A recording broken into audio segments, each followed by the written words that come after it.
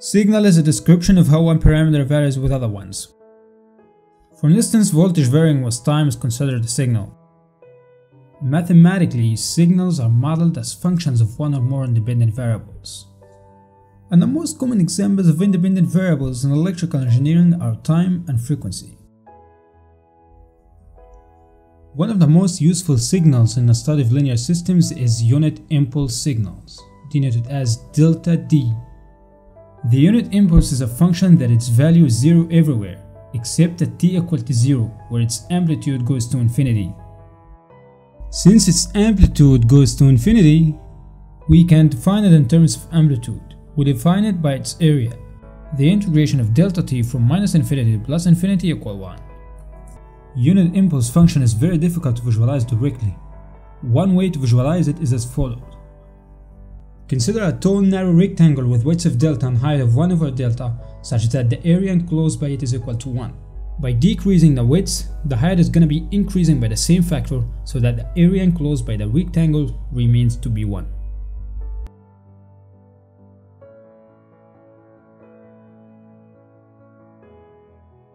As the width approaches 0, the rectangle function converges to the impulse function with an infinite amplitude. However, the area is still constant and equal to 1.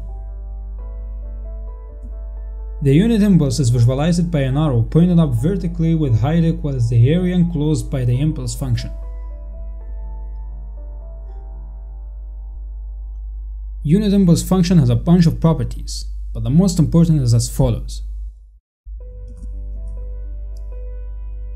Integrating a unit impulse function results in 1, provided that the limits of integration includes the impulse itself. Multiplication of an arbitrary function and an impulse function results in an impulse whose height equal to the value of the function at the location of the impulse.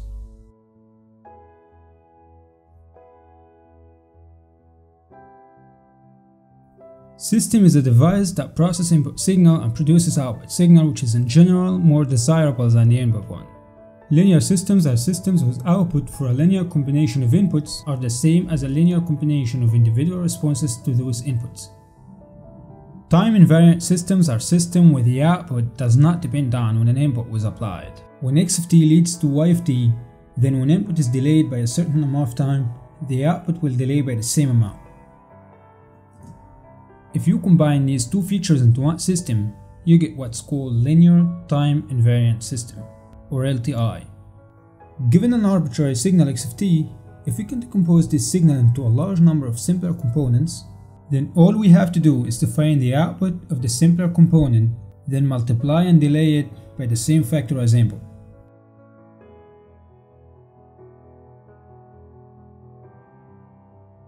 Consider an arbitrary signal x of t.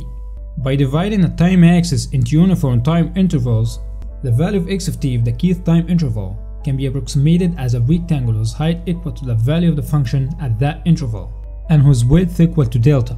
And this rectangle can be considered as an impulse function with an area equal to the value of the function at this time interval times delta.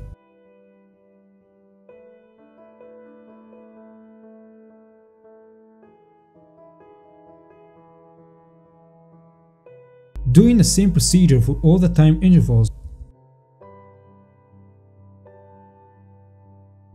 we get a staircase waveform that approximates the original signal. The smaller the value of delta, the more we get good approximation. Applying a limit to the approximated waveform where delta approaches zero, we get a waveform that converges to the original signal. So any arbitrary signal x of t can be represented as a linear combination of weighted time-shifted impulse functions. And here comes the power of LTI system, given that any signal can be decomposed into weighted superposition of time-shifted unit impulse functions, if you know the response of the system to the unit impulse functions, which is called the impulse response of a system, then you can get the response of the system to any arbitrary signal x of t.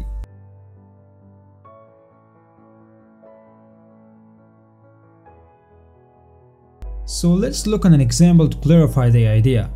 If the impulse response of an LTI system is exponential function for t greater than 0, find the output of the system when the input is x of t, where x of t can be decomposed into three scale time-shifted impulse functions.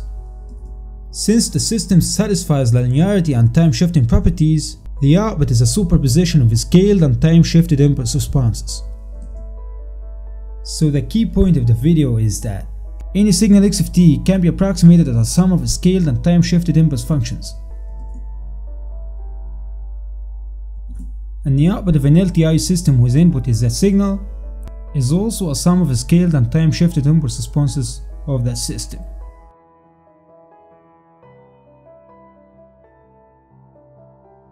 Taking the limit at both sides and as delta approaches 0, the summation become integration. Substituting k delta by tau and delta by d tau, we get what's called convolution integral. Mathematically, convolution is denoted by asterisk. This equation shows that when an input signal x of t is passed through an LTI system with impulse response h of t, the output of the system y of t can be calculated by convolving the input signal and the impulse response of the system. Convolution can be defined as the integral or the area under the curve of the product of two functions after one is reversed and shifted.